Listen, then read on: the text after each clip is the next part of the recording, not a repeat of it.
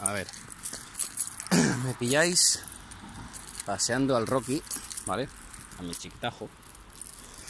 Y bueno, esto es un American Stanford Terrier, ¿vale? Tiene un año y medio. Bueno, perdón, un año y un mes. Exactamente. Y lo cachondo del tema es que el perro me lo han regalado. Vale. ¿Por qué os cuento esto? Cuento esto porque hay mucha gente que tiene miedo a coger un perro que se ha regalado. Entonces, yo te digo, tiene un año y un mes. Y el perro de maravilla. El perro, en casa yo tengo una cría de tres años y desde el primer día un perro 10. Perro 10 me refiero a que el perro no la líe con la niña, no le ha gruñido en ningún momento. Mira que la mía es nerviosa y le gusta estirar de las orejas, del rabo, lo típico de los críos, ¿no? Que hacen lo que quieren de ellos. Ya te digo, por eso digo que es un perro 10 con nosotros. No tenemos problemas. O sea, es un perro que da gusto tenerlo. Sí que es verdad que es un poco nerviosete. Nerviosete en el aspecto de que cuando sale, ven Rocky, no, por aquí no. Ahora entramos al parque, ven, ven. Va loco por entrar al parque. Se ha acostumbrado y ahora. Ven, venga, vamos. Bueno, a lo que vamos.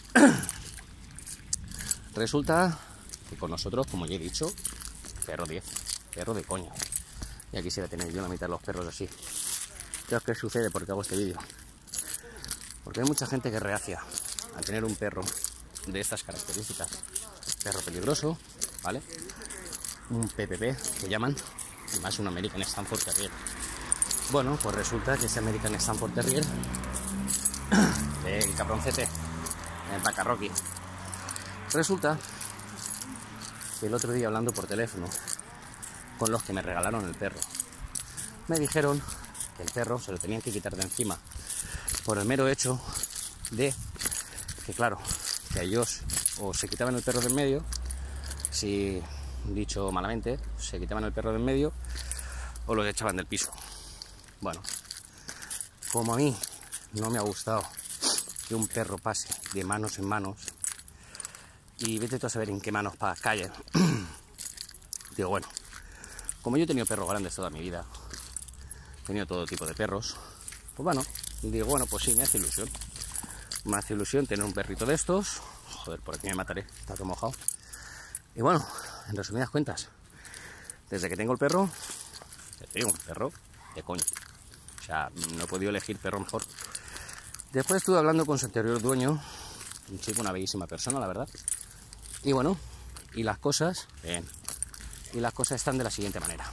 Resulta que al perrito le estaba, desde se lo crió un chico y lo tuvo en un taller. ¿Qué pasa? Ven, Rocky, ay, ven, ya vamos. Resulta que el chico lo crió en un taller. Bueno, en su casa no, pero lo tenía en un taller. ¿Qué pasa? Que claro, al tenerlo en su casa y al tenerlo en el taller, el perro pues se ha criado solo, obviamente, de vez en cuando con algún perro, ¿no? Pero no es lo mismo que por aquí, por el barrio. ¿Por qué digo esto? Porque el perro lo único que quiere con un añito y un mes es juguetear. Es estar con otros perros, trastearlos, juguetear con ellos. Pero, ¿a qué viene todo esto? Que el chico me dijo que una de las veces, teniéndolo en el taller, entró, entraron unos hijos de la gran puta y le pegaron una paliza al perro con palos. Que bueno, que yo otra cosa, otra cosa no. Pero eso mmm, ni lo comparto, ni me gusta, ni me gustará. Que tú entres a un sitio ajeno, que no es tu casa, con la única, la única moralidad que robar. Porque es para lo único que entraban, para robar. A ver. Espérate, Rocky. No seas cabrito, no me es en la puerta. Bueno, entrarán a robar, como ya he dicho. Cerremos aquí, ya está cerrado. ¿Y qué pasó? Se encontraron al perro. Perro joven. Perro con, no sé si tendría 7, 8 meses, no sé y se liaron a pegarle palos al perro, que al pobre perro me lo hicieron negro. ¿Qué quiero decir con ello? Que ojalá esos hijos de puta los pillara yo por delante. Entonces se iban a enterar, se iban a enterar lo que es una persona que ama a los animales. Porque la misma paliza que le pegaron al perro se le iba a pegar yo a ellos. Con palos, con palos, con cadenas, con cadenas. Tú eres un hijo de puta, tú o vosotros, por entrar dentro de un sitio. Lo primero que a robar, eso lo primero. Y lo segundo, inflar a un perro, ¿vale? Inflarlo a palos. Pero vosotros estáis bien de la mollera. Vosotros no rejáis, ¿verdad? Vosotros no estáis bien. O sea, ¿a qué santo vas a pegarle a un perro? Y bueno, hay alguno que te puede decir, eh, si no le pego al perro, me come. Me ha puesto lo que tú quieras, lo que tú quieras, ¿eh? A que el perro, en el taller, cuando entraron esas personas, lo último que tenía en la mente era atacarles. Ya te digo, o sea, el perro lo tengo yo hace dos semanas. En esas dos semanas yo no lo he visto ni que ladre, ni que gruña a nadie, ni que se lleve mal con ninguna persona. Es más, te digo yo, me juego lo que quieras y no lo pierdo. Porque entre otras, me he dado cuenta de cómo es el perro, del miedo que le tiene a las personas a raíz de haberle pegado la paliza que le pegaron, ¿vale? Y que venga el que tenga cojones a decirme a mí que ese animal ¿eh? iba a hacerles algo. Vosotros sois unos hijos de puta, vosotros no tenéis nombre. A vosotros tendría que cogeros el coronavirus y mataros. Eh, coronavirus. La lepra, el sida, el dengue, la viruela, la peste negra, todas juntas. Pero que os hagan sufrir. Ambas. Madre mía, casi me mata el cabrón este. O sea, tendrían que mataros de la peor manera posible. Hacerle esto a un animal, sea, no, no tiene lógica. O sea, para mí no. Y ya te digo, y hay mucha gente que dice, ¿cómo te quedas un perro que tiene un año o un año y un mes? Como tú quieras porque ese perro no sabes cómo ha estado, ese perro, bueno, como ya he dicho en un par de vídeos anteriores, el perro es como lo crías. Y afortunadamente este chico que tuvo al perro, el del taller, eh, lo crió de coña. O sea, sí, le tengo que dar la enhorabuena porque el perro es canelita en rama.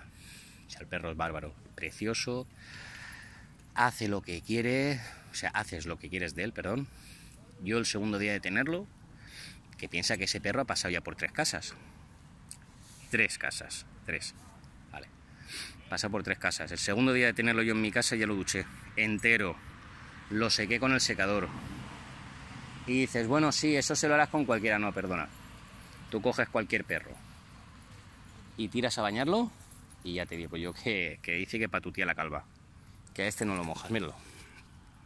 Rocky, míralo un American Stanford Terrier. Un año y un mes. Y es más bueno que el pan. O sea que a toda esta gente que se digna decir que estos perros son malos, como se dice en mi pueblo, envainárosla, ¿vale? Meteros la polla en el culo a ver si os cabe y dejar de criticar a los animales que no sabéis cómo están criados. Y vosotros, para criar un perro, tener dos deditos de cerebro. No hacen falta más, dos. Dos. Si quieres, uno y medio pero tenerlos.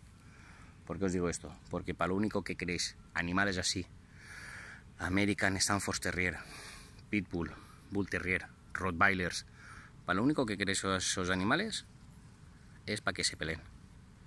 Es para reventarlos, que se peleen y cuando no sirvan, matarlos. Mm, ¿Qué quieres que te diga? Yo a esta gente le haría lo mismo. Lo meto en una pelea, que lo revienten y cuando está hecho polvo, matarlo de la peor manera posible. Vosotros no tenéis derecho a la vida. Sois unos hijos de puta. Y ahora resumiendo, si os gustan los vídeos, porque bueno, ahora hago vídeos de bueno, perros peligrosos, porque ya te tengo uno y me apetece que la gente sepa lo que es un perro peligroso. No es un perro malo, miradlo. Dirá, bueno, está en el parque, sí. Pero este perro no hace nada. Este perro es un cacho de pan. O sea que coseros la boquita antes de hablar, ¿vale? E intentar ser un poquito más humanos. Y lo dicho, lo que digo siempre, si os gusta el vídeo, compartirlo. Si queréis tener más noticias de los vídeos que vaya poniendo, tanto de perros peligrosos, como de coches, como de todo tipo de lo que me venga a la mente en el momento, darle a la campanita, suscribiros y os llegará al móvil. Y todo esto. Muchas gracias y hasta otro ratito. Hasta luego.